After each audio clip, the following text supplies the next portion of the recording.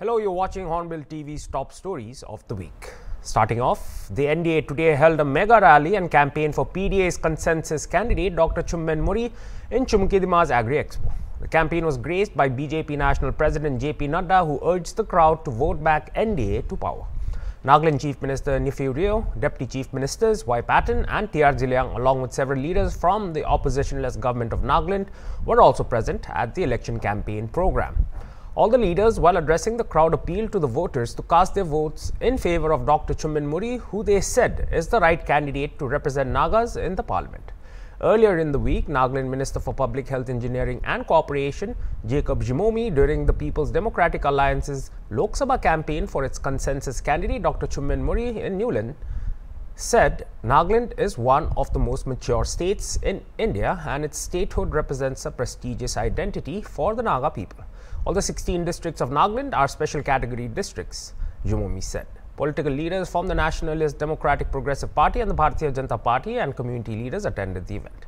In his address, Jacob Zhimomi said it takes both the government and the public to bring development. Referring to the Eastern Nagaland issue, he mentioned the central government's working paper to the state government for the development of the eastern areas. He appealed to the people to cast their votes for their respective representatives to address and represent their grievances.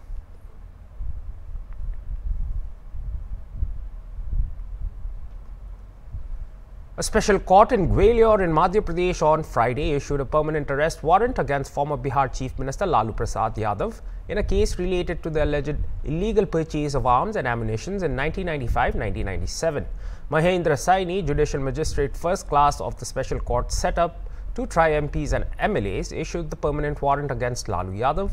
Special Public Prosecutor Abhishek Mehrotra told PTI. The case of 1995-97 relates to the arms being purchased from an authorized dealer hereby using fake documents. There were 23 accused in the case, which was registered at Inderganj police station, and all have been charge sheeted. Of these, Yadav has been declared an absconder, he said. As per the prosecution, the permanent arrest warrant was issued as no one appeared in court on behalf of the RJD leader. When contacted, Jabalpur based MP High Court lawyer Rakesh Pandey said a permanent arrest warrant is issued after the bailable arrest or non bailable arrest warrants are served, but the person doesn't present himself before the court. Under bailable and arrest warrants, the court sets the time limit for the accused to appear before it after serving orders to them. It is not in the case of a permanent arrest warrant. The accused has to be produced in the court when arrested, Pandey said. Yadav, who was convicted and jailed in the fodder scam in Bihar, was released on bail in April 2021.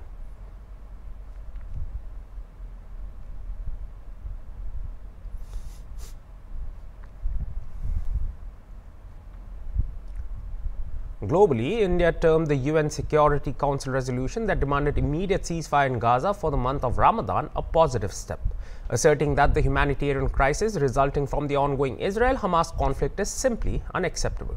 We are deeply troubled by the ongoing conflict in Gaza. The humanitarian crisis has deepened and instability has been increasing in the region and beyond. India's permanent representative to the UN, Ambassador Ruchira Kamboj, told a UN General Assembly meeting on Monday. She said India views the adoption of a resolution on March 25th by the UN Security Council as a positive step. Kamboj said the ongoing conflict between Israel and Hamas has led to a large scale loss of civilian lives, especially women and children. The resulting humanitarian crisis is simply unacceptable, she said, adding that Delhi has strongly condemned the deaths of civilians in the conflict and it is imperative to avoid the loss of civilian lives in any conflict situation. The UNSC resolution adopted last month demanded an immediate ceasefire for the month of Ramadan, respected by all parties, leading to a lasting, sustainable ceasefire. The 15 Nation Council adopted the resolution put forth by the 10 non permanent elected members of the Council, with 14 nations voting in favor, none against, and an abstention by the US, a permanent member.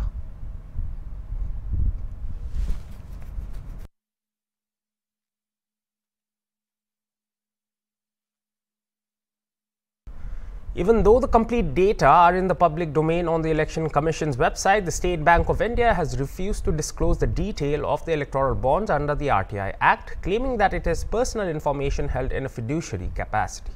RTI activist Commodore Lokesh Batra approached the SBI on March 13th, requesting the complete data of the electoral bonds in digital form, as submitted to the Election Commission following the Supreme Court's directive.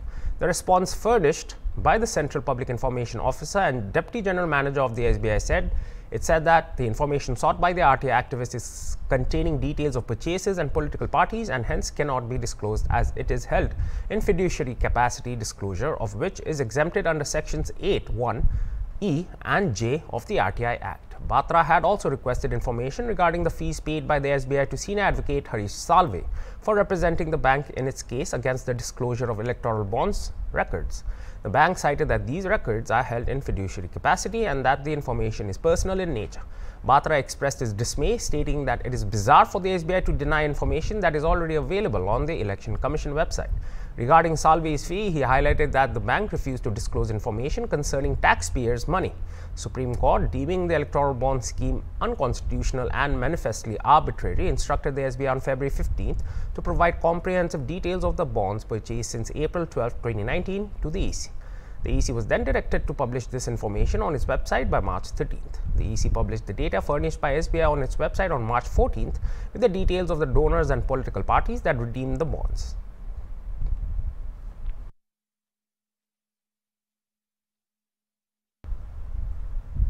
In some international news, real estate tycoon and billionaire Truong My Lan was sentenced to death on Thursday by a court in Vietnam's Ho Chi Minh City in the country's largest financial fraud case, according to local reports.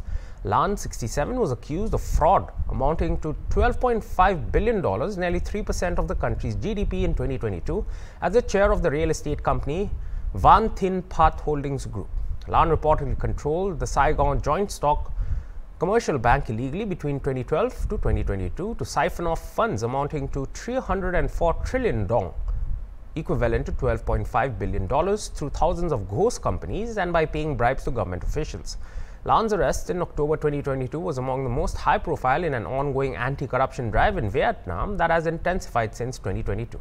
From early 2018 through October 2022, when the state bailed out SCB after a run on its deposits, Lan appropriated large sums by arranging unlawful loans to shell companies, investigators said.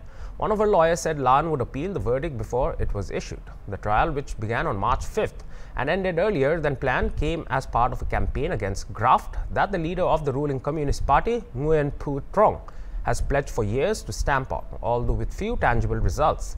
The crackdown, dubbed Blazing Furnace, has seen hundreds of senior state officials and high profile business executives prosecuted or forced to step down.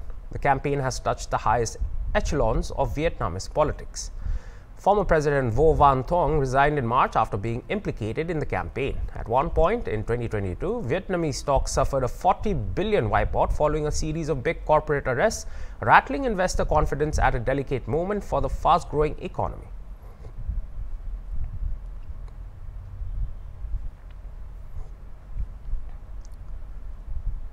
In some unfortunate news this week, six students were killed and many others were injured after a private school bus they were traveling in overturned in Kanina town of Haryana's Mahendragarh district this week. One of the victims stated that the driver was drunk and overspeeding. District Collector Monica Gupta said that treatment of the injured children is going on and the rest are all out of danger. The government is providing them the best possible treatment. She also said it has come to the notice that the private school in question was running even on a holiday and action will be taken. There was also a lack of documents in the vehicle, so an FIR is being lodged against the school administration as well. Haryana Education Minister Seema Trikha, who came to the hospital to visit the victim, said schools should not be open during holidays. A show cause notice has been issued, and apart from that, the school has been asked to provide an affidavit of the transportation vehicle saying that the vehicles function according to the transport rules and norms. She said if the driver was found drunk, then the schools, schools shall be held responsible. Leaders across Haryana and the country expressed their grief over the incident. Haryana Transport Minister Aseem Goel meanwhile said a high-level committee will probe the incident and an FIR will be registered against the school. He also said in March, a fine of rupees 15,000 was imposed on this school bus due to incomplete papers. The negligence of the school is very clear in the case. A fitness test of all school vehicles will be conducted in the state.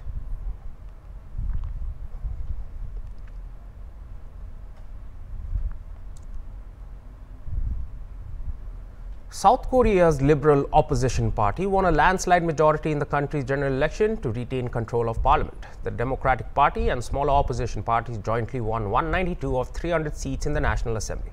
The vote is widely seen as a midterm referendum on President Yoon Suk Yeol, who has three years left in his office. His party leader Han Dong-hoon resigned and Prime Minister Han Duck-soo has offered to resign. This was a crushing defeat for Mr. Yoon and his People Power Party, which had been struggling to achieve its agenda in a legislature dominated by the DPK. The DPK's win means, means they will be able to fast track and push legislations through parliament. Both the DPK and PPP used breakaway satellite parties to maximize their vote under South Korea's electoral system, which assigned some seats to smaller parties whose seat counts fall short of their overall support. This isn't the Democratic Party's victory, but a great victory for the people, said DPK leader Lee Jae-myung on Thursday. Politicians on both sides of the aisle must pool our strength to deal with the current economic crisis. The Democratic Party will lead the way in solving the livelihood crisis, he told reporters. The result could embolden Mr. Lee, who narrowly lost the 2022 presidential election to Mr. Yoon, to make another presidential run. Mr. Yoon is under pressure to address a number of issues including rising food prices, a rapidly aging population and an ongoing doctors' strike.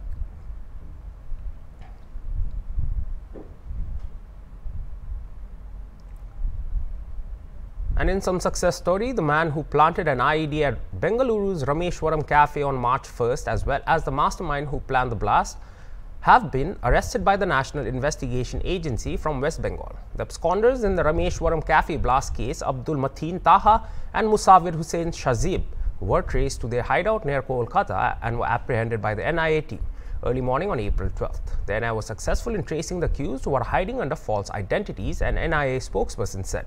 Shazib is the accused who placed the IED at the cafe, and Taha is the mastermind behind the planning and execution of the blast and subsequent evasion from the clutches of the law, the spokesperson said. National Investigation Agency has been granted a three-day transit remand of the two prime suspects, Abdul Mateen Taha and Musawir Hussain Shazib, in the Bengaluru Rameshwaram Cafe blast case, the NIA court in Kolkata said on Friday.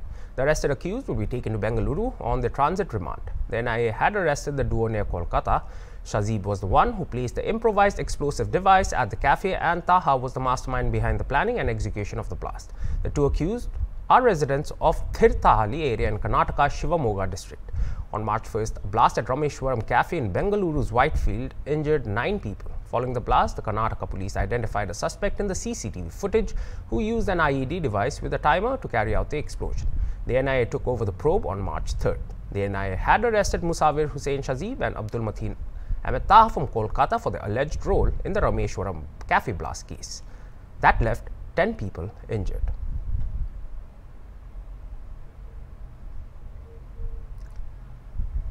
And those were the top stories of this week. See you next time. Goodbye.